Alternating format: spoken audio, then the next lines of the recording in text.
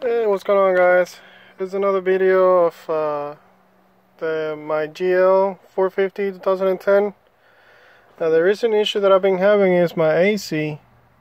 Uh, it blows cold, but for some reason whenever it wants to, it will stop working. This half of the car will stop working, so it wouldn't blow anything. It will be like really, I'll say probably like 80 temperature, and it wouldn't blow strong as, as this I would and I checked on I went and I tried checking the little uh, vent uh, motors. Took them apart you know looked into them and whatnot. And then I figured well there's not a, a lot of info out there for these cars for the GLs anyways.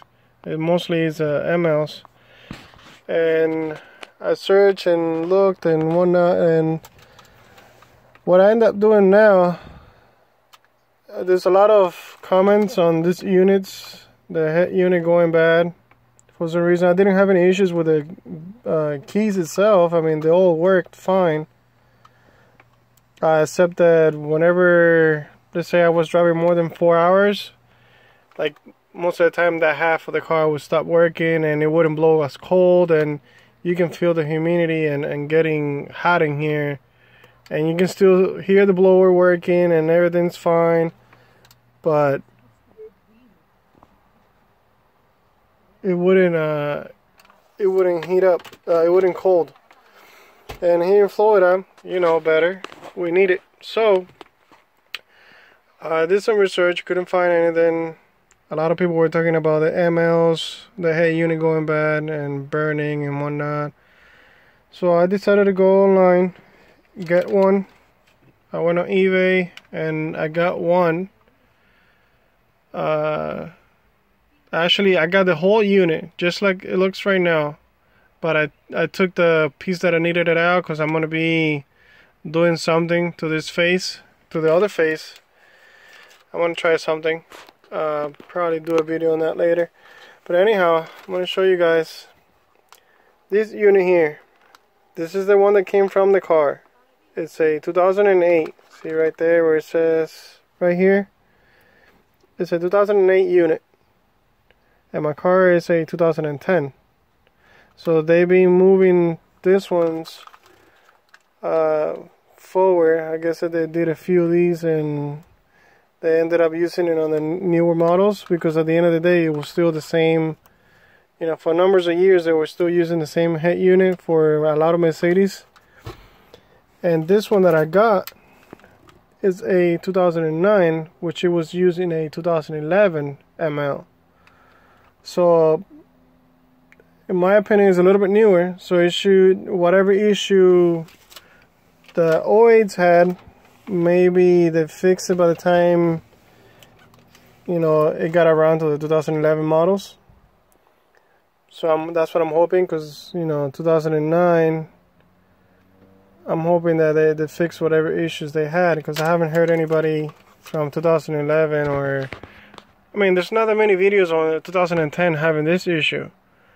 Mostly it's like you know 2000 models and 2003 2004 MLs and nothing to do with the newer models.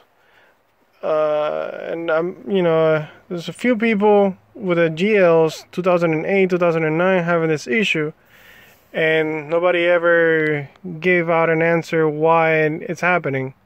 So I'm doing a test run. I'm gonna put this new unit on and and see how it works. I mean, it's pretty simple, st straightforward. Uh, it's not that complicated. Uh, you got your your plugs that you gotta hook up on the back. See, like this one's, they come like that. It has like a little that you you know you press on on it and so you'll be able to move this lever. You know it's a little bit hard to see. You press on it see and then you release and then you can open it and take it out of the actual you know pin.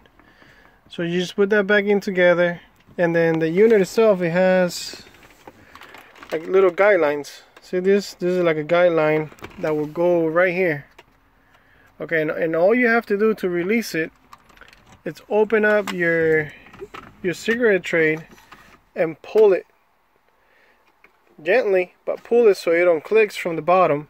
And then it's just a matter of on, you know, moving it to be able to uh, hook it back in. So I'm gonna see if I could get actually see if I could get it going here. Uh, wait for me. So, uh, I want to make sure that I put everything. See how it unclicks. Okay.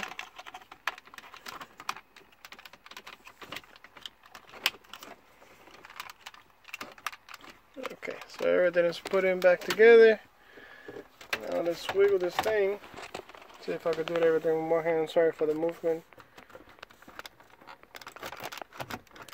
It's just a matter of putting the guides right in there.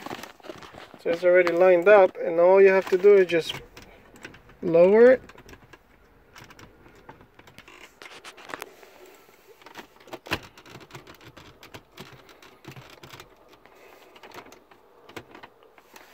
Yeah, one hand it will, it will be a little bit harder than that.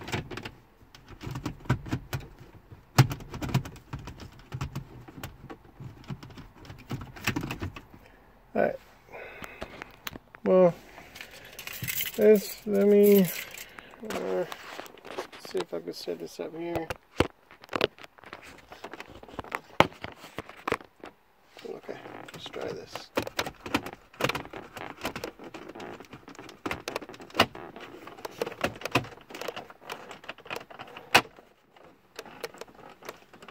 Okay, there.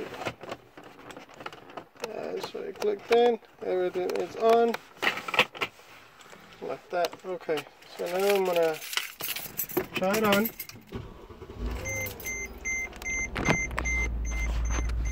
Let's see. And before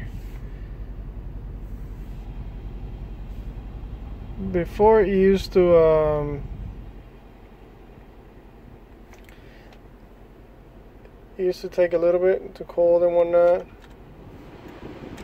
So